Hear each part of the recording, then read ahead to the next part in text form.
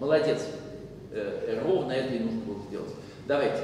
HC прямую проведите. И GD. Ребят, это прямоугольник, повернутый на 90 градусов.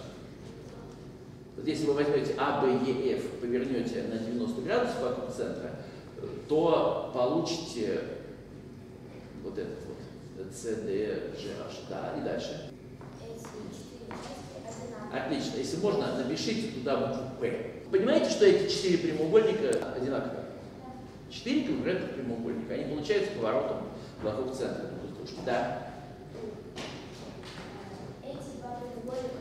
Да, да, да, я все понимаю, да. Молодец. Надо диагонально Не так ни в коем случае. Вот это просто неверно.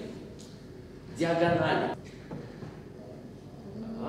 Так, одну провела, вторую провела.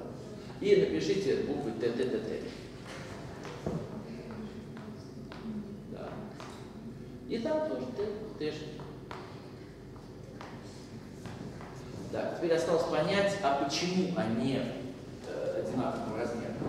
Ну, то, что они прямоугольные, это понятно, да? Здесь вот у нас 90 градусов. Но смотрите, здесь вот эти вот отрезки равны, правда? Здесь эти отрезки равны, и очень важно, вот этот отрезок, это сторона восьмиугольника, и это тоже сторона. Значит, вот эти отрезки равны. И это тоже то же самое. Поэтому гипотенуза у этого треугольника такая же, как вот этот отрезок, и значит такая же, как гипотенуза А по гипотенузе прямоугольный треугольник с равными качествами определяется однозначно. Спасибо. Все решили? Отлично.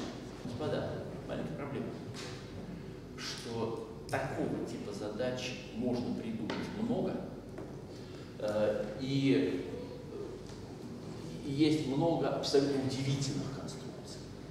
Например, только я вам не буду сейчас рисовать, потому что я просто не помню.